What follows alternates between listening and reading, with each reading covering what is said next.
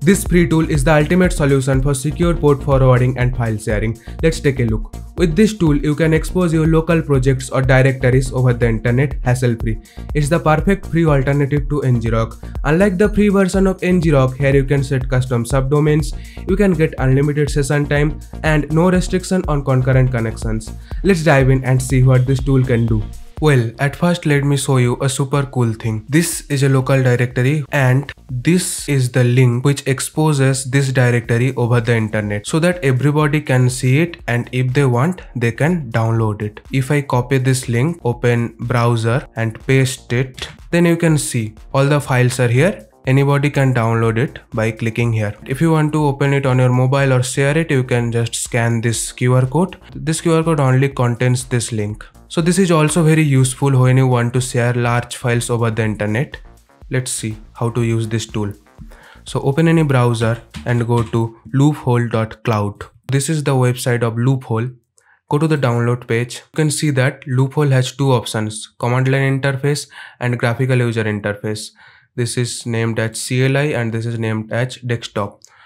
So I will recommend you to don't go for desktop version, the GUI version because this is very unstable. Sometimes it doesn't even work.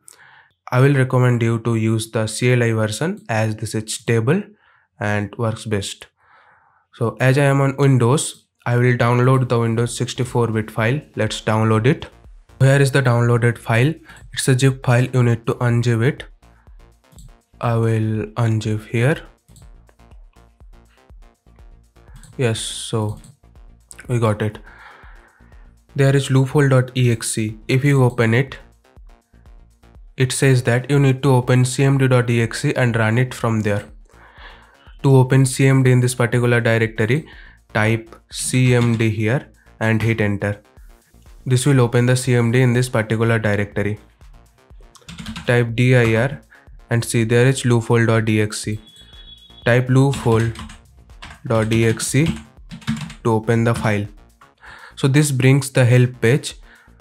You can always check their documentation. Go to their website and click on the documentation.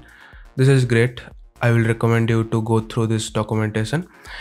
And you have to do login loophole account login.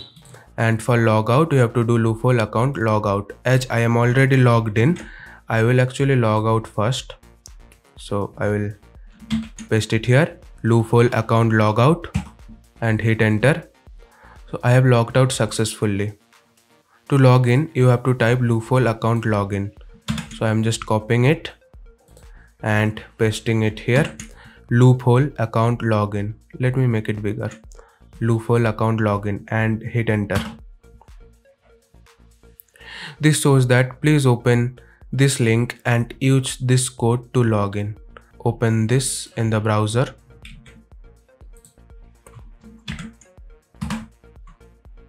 This is it. And you have to enter one time code here. This is the one time code. Copy it. Paste it here and click on continue. Confirm. And this says your device is now connected okay logged in successfully. As i log out just now and logged in instantly so did not ask me to sign up or log in. If you are doing it for the first time it will ask you for email and password and to sign up. So do that. Now i will show you how can you expose this directory over the internet so that anybody can download the files. Open the terminal again where you used to log in loophole. You do not have to log in again and again. You have to log in just once. Type i will make it big and show you. See carefully. Type loophole space dir space. Paste the path of the directory which you want to expose to the internet. Then space minus minus host name. This is for custom subdomain. You can skip this part. So i am making it cyber riker.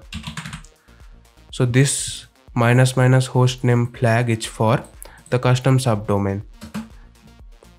Then space. This is optional minus minus keyword this will make a keyword for the link. And then hit enter. See it shows registering your domain. You have to allow it. And boom there is the link. This will forward to this will expose the directory over the internet. So open in your browser open this link. Yep there it is. You can download it. And you can also scan this QR code and open this link in the mobile to see if that works. Okay to terminate this session you can press ctrl plus C. So now this is terminated. And if I reload this page now this will not work. There is nothing here. Now I will show you how can you do port forwarding with loophole for free Port forwarding is basically exposing your localhost to the internet.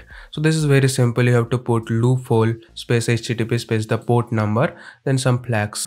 So let me start a Node.js server to demonstrate this. Node index.js. Okay. So my localhost is ready. This is running on port 3000.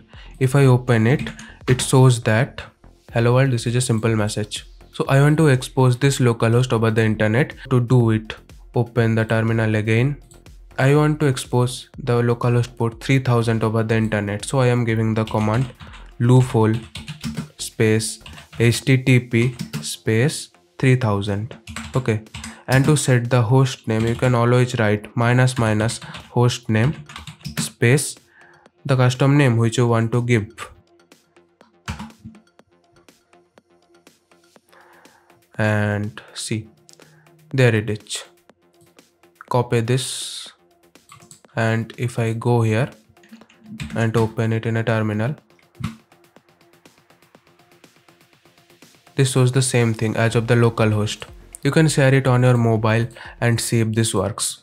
Well that's all. If you found this video helpful make sure to hit that subscribe button and feel free to comment down your issues and the topic of the next video